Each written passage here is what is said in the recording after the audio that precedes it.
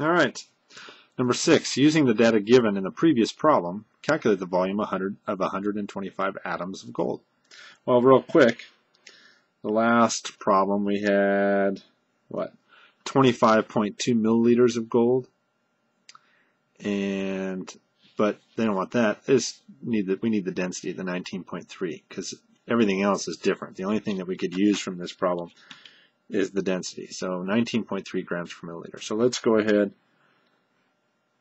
and uh, sort through this one.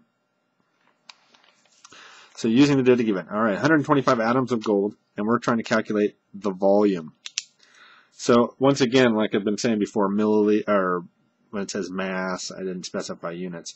In this case, let's make it easier on our, easy on ourselves and figure out the, the volume in milliliters. Okay? So we know that the units of our answer are going to be milliliters of gold. Okay? So there's only one place to start here. We have the 19.3, I'll write it here so I don't forget. 19.3 grams per milliliter. Okay, that's the density. So once again, if it's if our units are something per something in the answer, then we'll want to start with something per something, but they're not. So we're not going to start there. So we're not going to start with our density. We're going to start with 125 atoms of gold. Okay. So now the plan is how do we get from atoms to milliliters?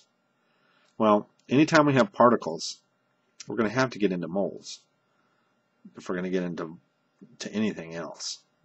Okay, so the general plan, it looks like, we're going to go from atoms into moles, and then, oh look at that, we can go from moles into grams, and then we can use our density and get into milliliters.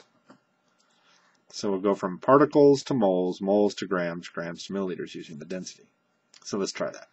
So we got 125 atoms of gold. We expect a very small number. Atoms are teeny tiny things. So, but we do know that Avogadro's number, we know that 6.02 times 10 to the 23rd atoms of gold is one mole of gold. So we got that part. Now we have to go to grams. Where do we get it? Since we're talking gold, our periodic table, our mole-gram relationship, 196.97. There it is, 196.97. So I know that one mole of gold, looks like I'm going to need two lines, is 196.97 grams of gold. Okay, so I got into grams. Now, it's just a matter of using my density because I'm heading to milliliters. So I know that there are 19.3 grams of gold, one milliliter of gold. Ding, ding, ding.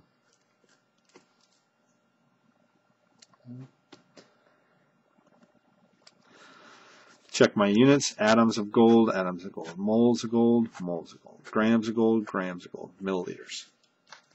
It's a matter of plugging and chugging.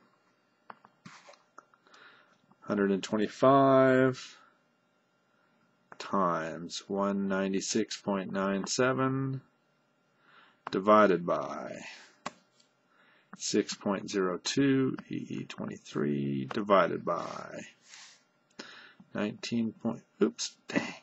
Let's try it again. 125 times, oops, 125, ah, having a hard time with the calculator. 125 times 196.97 divided by 6.02 E23 divided by 19.3 equals. It's like we're good to 3 sig figs here for 125, so 2.12 times 10 to the minus 21. 2.12 times 10 to the minus 21 milliliters. That's teeny tiny, which makes sense because we only have 125 atoms. That's you couldn't even see that. And like the like the um,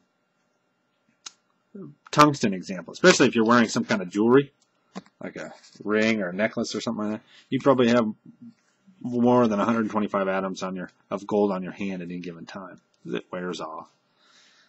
There you have it.